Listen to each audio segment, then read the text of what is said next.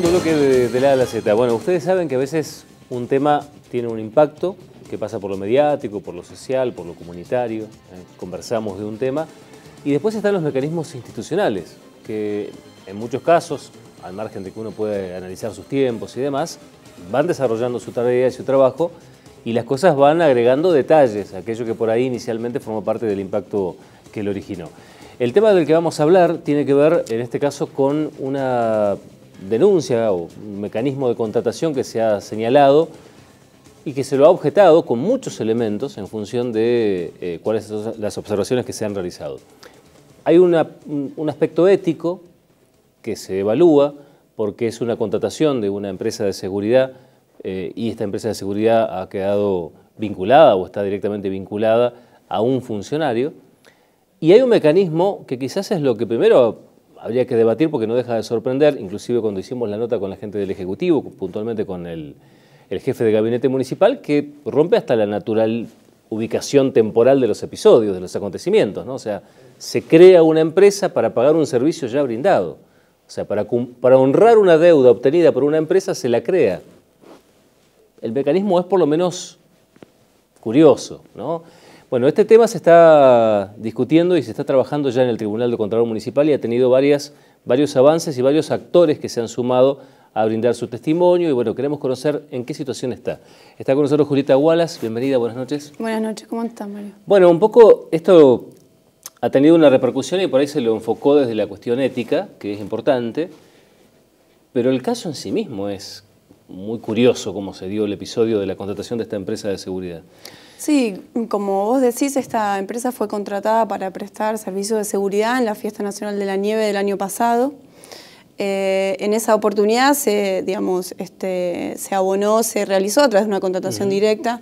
Eh, bueno, vos sabés que, eh, porque ha sido público y demás, que el Tribunal de Contralor desde el año 2016 viene advirtiendo al intendente digamos, el uso desmedido de esta herramienta, la contratación directa es una excepción y no es la regla, con lo cual digamos, ya ahí este, uno empieza a analizar digamos, la, situación y ya encuentra una primera irregularidad que es la herramienta utilizada para contratar por parte del Estado municipal, en este caso una contratación directa, que este, fue desdoblada en tres este, facturas diferentes. Ahora, cuando uno... se le baja el monto para que el impacto quizás sea menor, pero no deja de ser una contratación directa. Exactamente, son, digamos, se fracciona el monto para que no quede, digamos, este, ya tan evidente que en realidad en este caso, eh, por tratarse, digamos, era aproximadamente 120 mil pesos, eh, correspondía realizar un concurso de precios. Por el contrario, se realiza una contratación directa. También para que se entienda por qué digamos, uno pone énfasis en evitar este tipo de contrataciones, porque le quitan transparencia a los actos de gobierno. ¿no? Es como aparece la discrecionalidad, digamos, un poco del funcionario actuante en determinar a quién va a contratar. Cuando uno avanza en una licitación pública, hay mayor cantidad de oferentes, hay mayor cantidad de competencia, digamos, este, mayor eh, opciones de precio y demás. Entonces uno, este, la norma en realidad, tiende a evitar esta, esta, este mecanismo que es la contratación directa. Mucho más cuando es un rubro en el que hay bastante oferta en el ámbito local, ¿no? Digo, no, no es un universo en el cual haya muy pocos oferentes posibles. Hay empresas de seguridad y uno estima que son unas cuantas, al menos por lo que uno ve en, la vida cotidiana, ¿no? Sí, y, hay, hay, mucha justificación en, en, el uso de esta herramienta que el Ejecutivo aduce por este, razones de necesidad y urgencia. La verdad que esto eh, es falta de previsión y planificación, digamos, todos los años este, se realiza la Fiesta Nacional de la Nieve, se sabe que se necesita, digamos, algunos aspectos en esa fiesta, en este caso la contratación de un servicio de seguridad. Esto por un lado, ¿no? Ahora cuando uno este, empieza a mirar, digamos, a, eh, cómo se realizó esa contratación o a quién, advierte que este, la persona física a quien se contrató este, no estaba inscripta o dada de alta en la FIP al momento de ser contratada. Es decir, no estaba en condiciones de ser contratada por parte del Estado municipal, como tampoco inscripta como proveedora del Estado municipal.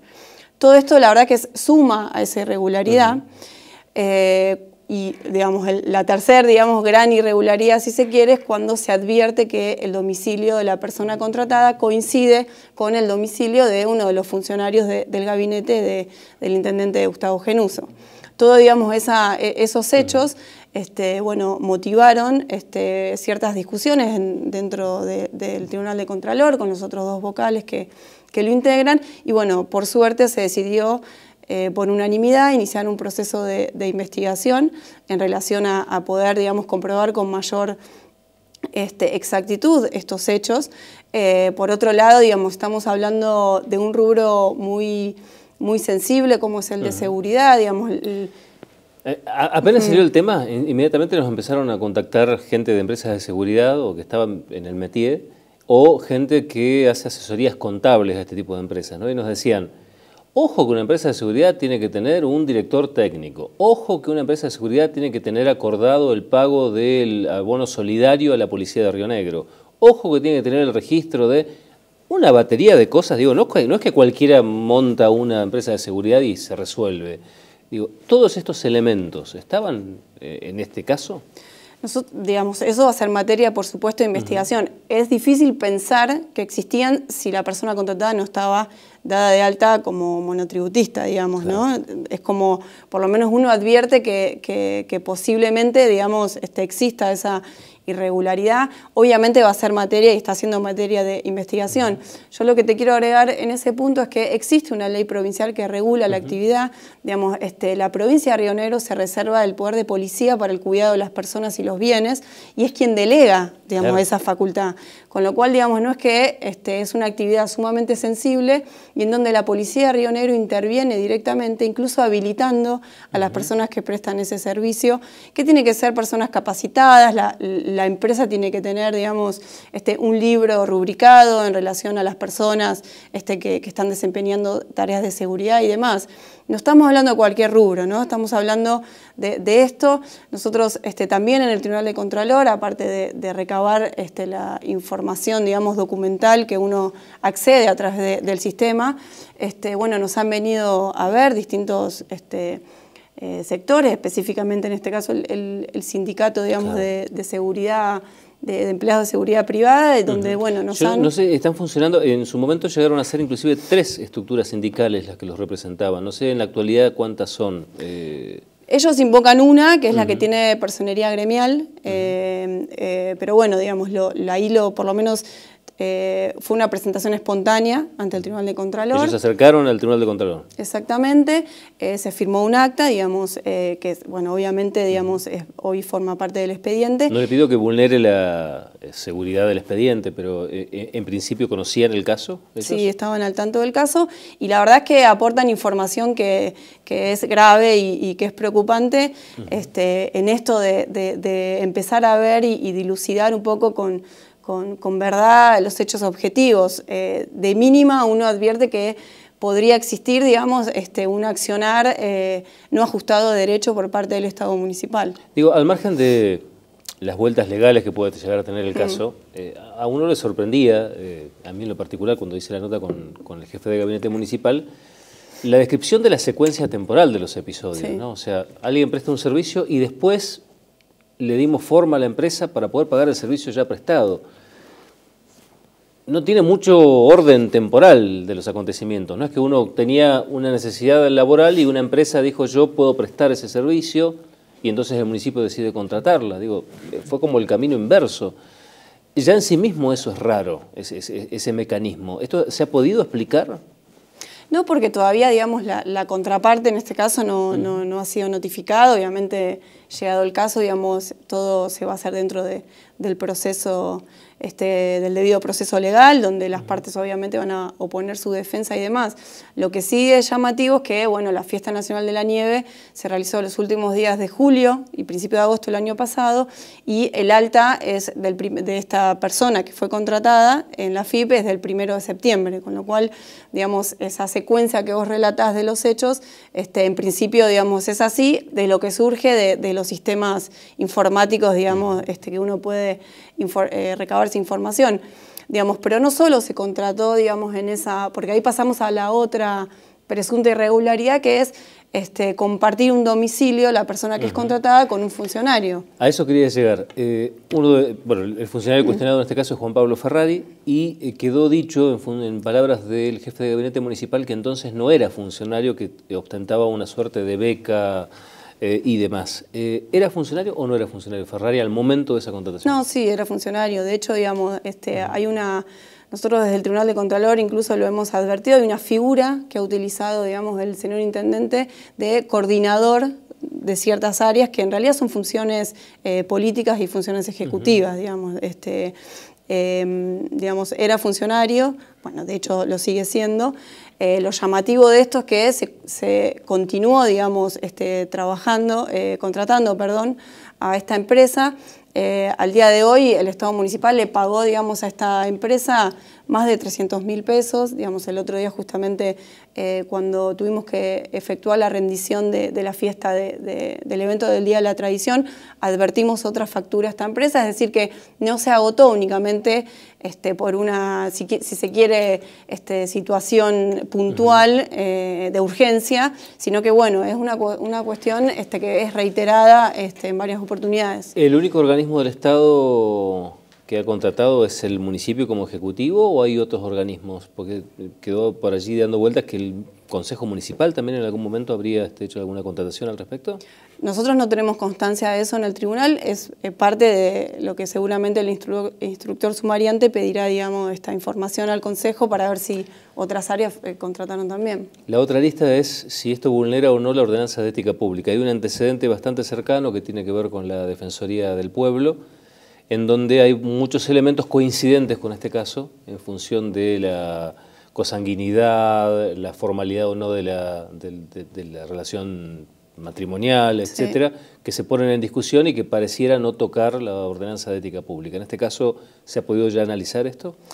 No, en, no en profundidad. La verdad es que yo tengo una, postura que tiene que ver con, con aplicar el sentido común. ¿no? También, digamos, la, la, norma literal y, interpretación fría no nos sirve para construir una, un, gobierno transparente, un buen gobierno, una buena democracia, digamos, si, si, existe un vínculo, hoy de hecho con la reforma del Código Civil sabemos que, digamos, hay nuevas formas, nuevas eh, formas jurídicas eh, que regulan, digamos, las relaciones, está la figura de, convivientes, por ejemplo, y demás, donde uno, digamos, si bien no tiene un, este, un vínculo jurídico en términos de un contrato, como es digamos, la, sociedad conyugal y demás, sí existe eh, vínculos de, todos los días, donde uno comparte un, único, una única vivienda y, bueno, uno más o menos sabe que eso tiene ciertas implicancias este, prácticas en el día a día. Entonces, si uno aplica... No las ha tenido en algunas resoluciones recientes, como el caso que mencionábamos, el de la Defensoría del Pueblo, donde Yo voté en contra ahí.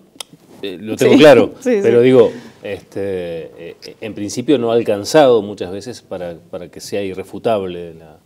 No, porque por eso digo, si uno se, digamos, la norma habla de este cónyuge en este caso, ¿no? Pero bueno, también este, eh, son normas que hay que quizá revisar porque son previas a la reforma del Código Civil. Entonces uno por ahí, por eso digo, en esta interpretación literal, uno puede decir, bueno, no es cónyuge, uno pide si hay certificado de matrimonio, no hay certificado de matrimonio, no es incompatible, digamos. Pero la verdad es que todo el espíritu de la ordenanza este, aduce al comportarse por parte de los funcionarios públicos, que tiene que ver con, ciertas conductas que uno tiene que, llevar adelante, y habla de los principios de la ética pública. Y dentro de los principios de la ética pública habla de la transparencia y de la honestidad y demás. Entonces, me parece que este, creo que la claridad en este tipo de hechos es importante que de mínima surjan por parte de, los propios funcionarios, en este caso del intendente sería ideal, y sino de los funcionarios de gabinete, porque salir a decir que porque no es cónyuge no es incompatible,